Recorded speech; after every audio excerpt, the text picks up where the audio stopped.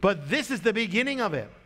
But it all begins, which is saying the power of Messiah, that death and resurrection, is to pass through, and, and, and it's the ultimate Hebrew. What happened when he died? He said, It's finished. What happened? What happened? The veil of the temple, the barrier between man and God, broke in two. And the way was opened up because he was passing through. And that is the power that you have, people. The power to cross over from death to life. To cross over what it's impossible doesn't matter. You have the power of breakthrough. You have the power of total life to turn something that's totally dead into something that's totally alive. It's no accident. What, how did they get out of Egypt? Well, God came into Egypt and he passed over the houses, you know, Passover.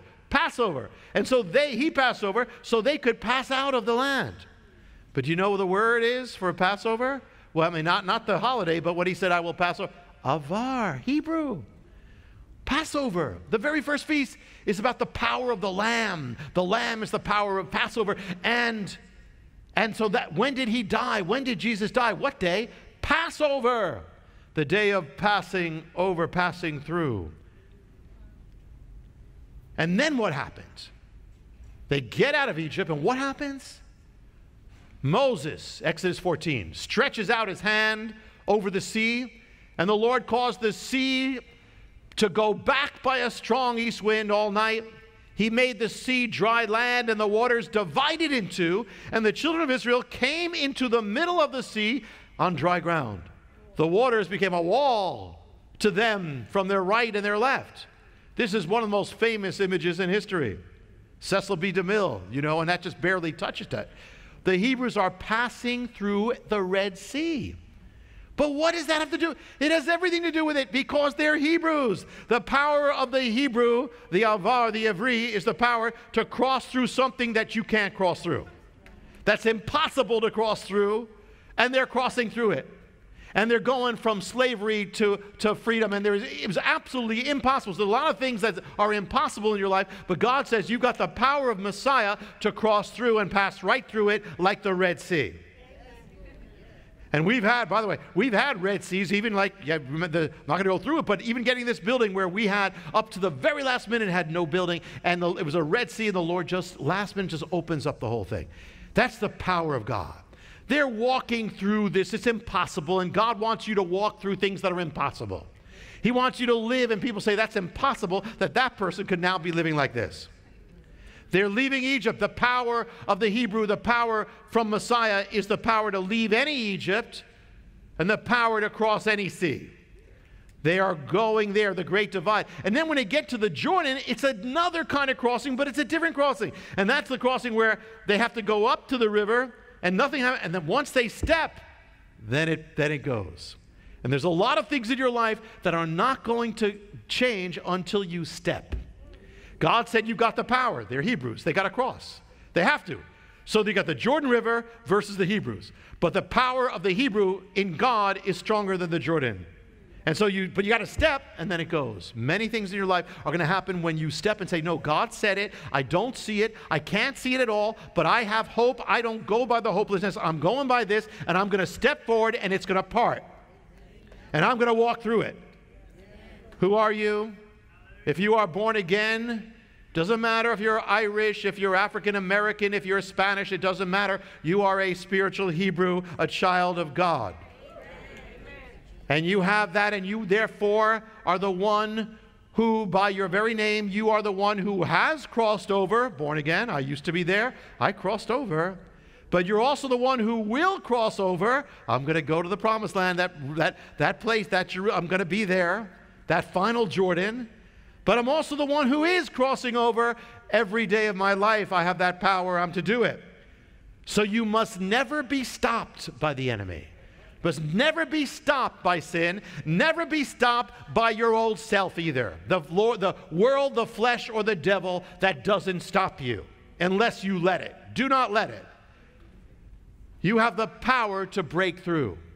What's the power? What happened in the book of Acts? They opened prison doors by the power of God.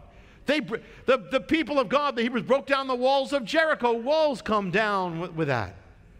It's not enough to cross over once, you need to cross over every day. You've got that power, and that's a great power. I mean, I'm excited that I have a power. I've got the power of God. Anywhere, I, maybe a fight, I may not see it right that second, but I'm going to see it. Because God promises He will always lead you to triumph. But it means you have to keep going. If you don't let Him lead you, if you don't walk, you don't see it. So, what it means, if you are a Hebrew spiritually, I'm not talking about physically, I'm talking about spiritually. Some of you are both. You are going to have Red Seas because that's okay. Red seas of problems, red seas of trouble, red seas of conflict, red seas of threatening, red seas, but the, and, and Jordans of obstacles and bondages and pot, but you are a Hebrew. Therefore, it doesn't matter how big the, your Red Sea is. It doesn't matter how strong your Jordan is. You are the one who crosses over, who passes through, and who breaks through. The Lord is saying, do not stop. Do not be discouraged. Do not be afraid. Do not be intimidated. Do not give up. I'm the one who splits the sea in two before you. I'm the one who causes you to walk through dry land as if, I mean, this sea as if it was dry land. I've got that power. You are a Hebrew. And sometimes, you know, you, sometimes you need that barrier to walk through because when they walk through, you know, the Lord said, look back, look, you're never going to see that Egypt again. That's closing back. So the barrier was good. And yet, so in your life, it's okay. God's going to use every obstacle and everything for your good. You are a Hebrew, use the power. A Hebrew is not bound. You say, I am not bound.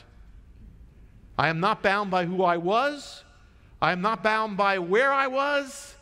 Abraham left Ur, the Hebrews left Egypt. You got the power to leave whatever that thing is.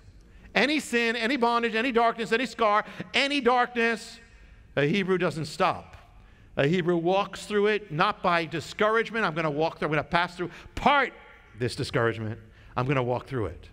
This, this problem part, I'm going to walk through it. Whatever it is, this wall of hate, I'm going to walk through it. This bad relationship, I'm going to walk through it. Whatever this is, this, this continual thing for the enemy, I'm going to walk through it. I don't care. You are a Hebrew. You've got the power. Use the power. Use the force. Walk through, pass through, cross over by the power of God, break forth, break forward, break through, for that is the power of the child of Abraham, the child of God, the Hebrew, and the power of the Ivrim. To find out how you can receive more of Jonathan's teachings, to receive special free gifts, or get in touch, go to hopeoftheworld.org or call toll free 1 800 Yeshua 1. That's hopeoftheworld.org or call 1 800 Yeshua 1 that's 1 800 937 4821. You can also get more at Jonathan Cahn's Facebook page or write us direct at Hope of the World, Box 1111, Lodi, New Jersey 07644, USA.